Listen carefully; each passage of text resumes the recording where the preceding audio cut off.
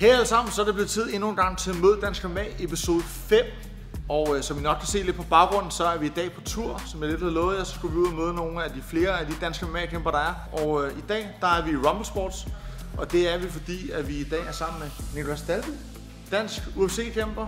Nok den, der har været længst tid i UFC, er herboende øh, UFC-kæmper. I hvert fald den første af herboende af den nyere generation. Til folk, der følger med derude, kan du ikke kort præsentere dig selv? Hvem er du? Jamen, øh, udover at være UFC-kæmper, så er jeg, øh, så er jeg far til min datter, øh, og, øh, og nørd.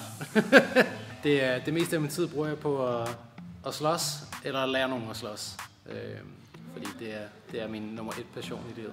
Nicolas, som jeg altid plejer, når jeg er ude og lave de her mod dansk afsnit, så øh, plejer jeg at få kæmperne til at øh, vise en af deres favoritteknikker, en teknik, sådan en go-to move, et eller andet, som de har at vise. Har du noget til os, eller til dem, der følger med derude? Det jeg gerne vil vise i dag, det er det, der hedder en uh, snatch single leg. Og det er en af mine favoritteknikker, fordi selvom jeg er striker, så er det altid godt enten at kunne vælge at tage folk ned, eller lade dem tro, at man måske gør det, så man uh, skaber nogle åbninger. Så det skal vi uh, kigge lidt på i dag. Godt, så snatch single leggen, den kan jeg godt lide, fordi den er, den er sådan ret minimal indsats, så hvis jeg fejler den, så bliver jeg ikke nødvendigvis sprawlet ud på samme måde, som jeg gør på en double leg. Måden jeg godt kan lide at sætte den op på, det er, hvis vi er i striking afstand her, så kan jeg godt lide at sætte den op efter et kryds, så er han typisk af hænderne op, og, øh, og det giver mig plads til at komme ind her med min venstre hånd. Kom ind her, og du måske smider 1-2 her, kommer ind.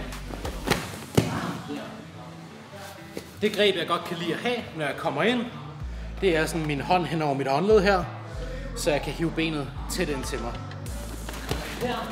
Når jeg er kommet ind her, så vil jeg helst gerne være så højt på hans hofte som muligt. Jeg vil gerne lande i den her position, hvor jeg har, altså, har mine hænder næsten til, til, til det, vi kalder for high crouch her. Jeg vil gerne være suget tæt ind på ham her. Mit hoved er på indersiden, ikke på ydersiden i det her tilfælde. Og jeg er suget tæt ind til ham her. Så det er vigtigt at have en ordentlig posture også, som altid i brydning. Herfra, hvis jeg har det her greb her, så er det relativt nemt for mig at steppe bag hans ben her. Og herfra, så vil det være relativt nemt for mig at træde skridt øh, bagud her. Og lande med sådan en rimelig solid kontrol her, nærmest i side position. Det er særligt Her, så jeg holder min afstand her. Vi laver noget striking her, masser af bevægelse. Kunstkom. Her. Knæer benet her.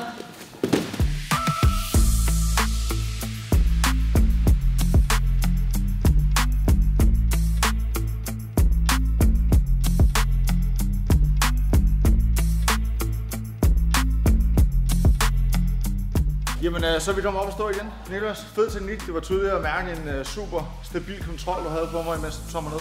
Som altid, når vi slutter af, så øh, plejer jeg lidt at spørge dem, der er med i programmet her, at øh, om de har en lille, et godt råd, en lille anekdote, eller andet, de har lyst til at sige til følgerne derude.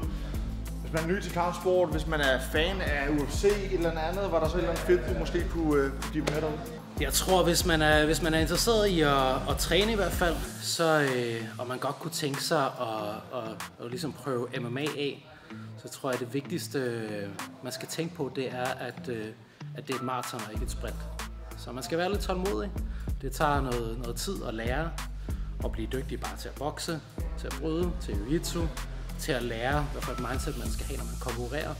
Der er mange lag i det, og øh, når, man, øh, når, man, når man starter, så er man for det meste rigtig ivrig efter at komme hurtigt i gang, og det, det er jo rigtig godt. Øhm, man skal også have lidt tålmod. Så det er nok mit, øh, mit bedste råd.